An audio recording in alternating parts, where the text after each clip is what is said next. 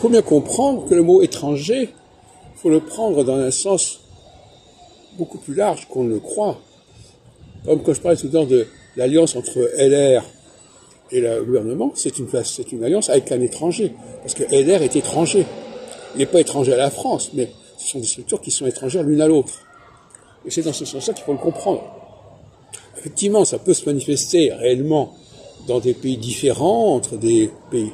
Ça peut être des alliances qui passent par des langues différentes, par des pays différents, mais ça peut être aussi des alliances entre des structures qui ne communiquaient pas entre elles, qui n'étaient pas en synergie, et qui vont euh, finir par euh, s'organiser mutuellement, par des accords divers, par des, pactes, des alliances.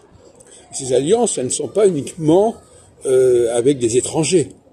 Donc le mot étranger, c'est simplement quelque chose qui est extérieur, une alliance extérieure au système concerné. Ça ne veut pas dire forcément que ça va aller chercher à l'autre bout du monde. Euh, il y a parfois des, expressions comme ça qui ne sont pas bien comprises. Hein. Euh,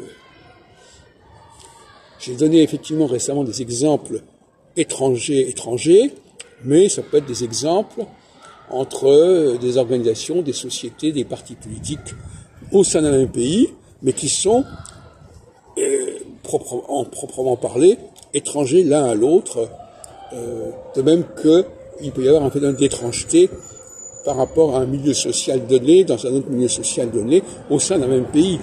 Pas forcément des étrangers euh, qui appartiennent à des pays différents.